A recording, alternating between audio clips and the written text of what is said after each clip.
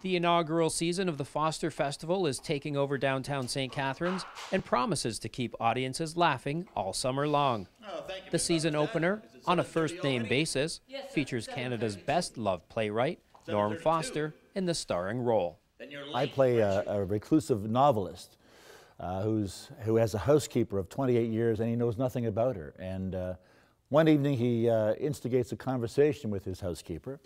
And we really don't know why this happens until we, find out towards the end of the play why, he's doing this. Yes, but he asks her, her questions about her life and they discover uh, things about each other through this of humor, Miss conversation. And there are a lot of surprises, some, a lot of humor, some tender moments too. So it's a, it's a nice mix of a, think and it's a two-hour conversation in real time. again, sir, waiting Um, and it's fun to play this fellow because he's a lot smarter than I am.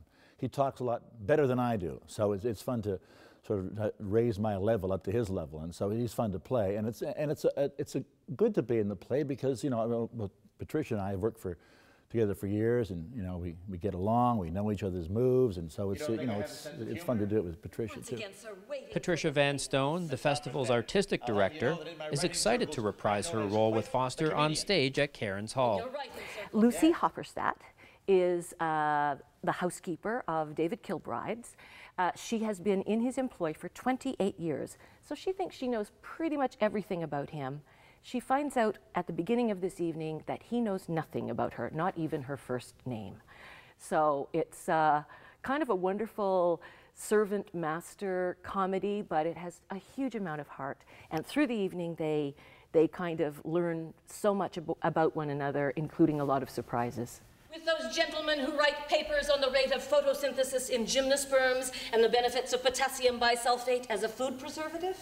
Yes. Well, On a first name basis made its debut four years ago, and the pair have performed the play to sold out crowds all across the globe.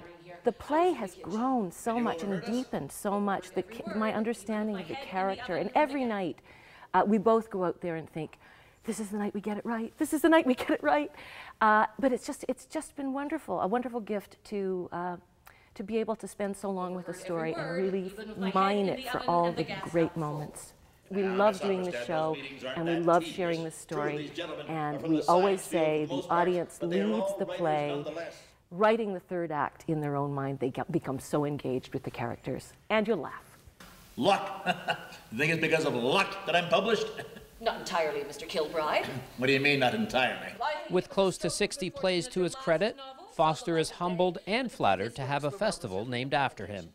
It's flattering and it's terrifying at the same time. It's a lot of pressure. Um, I often say I wish they'd waited till I was dead to start this festival, but uh, uh, it's exciting. And being in St. Catharines, I've worked in the St. Catharines area a number of times, and uh, that's one of the reasons why we're here, is because I love this area, and it's a great location, central to everything. So it's, uh, it's, uh, I, I think it's a, it's a nice mix, a nice combination.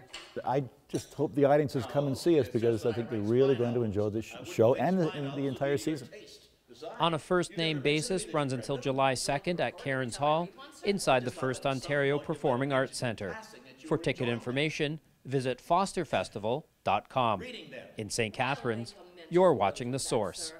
Employer's ego needs stroking. Done.